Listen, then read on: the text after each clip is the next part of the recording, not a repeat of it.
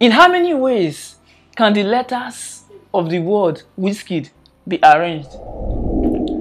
To arrange the letters in Wizkid, the first thing we do is count the total uh, letters in the word. The letters are 1, 2, 3, 4, 5, 6. So we come down and put 6 factorials.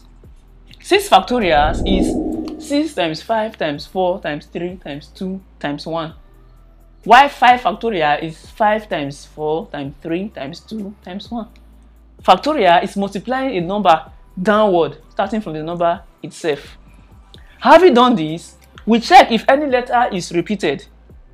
In Wizkid, the letter I appears twice, and that is the only repeated letter we simply come here and say over 2 factorials. This is the number of ways we can arrange the letter of the word Wizkid. Or we can break it down to have 6 times 5 times 4 times 3 times 2 times 1 over 2 times 1 because 2 factorials is 2 times 1. This would give you 720 over 2 to give you 360 ways. So the letters of the word Wizkid can be arranged in 360 ways or 6 factorials over 2 factorials.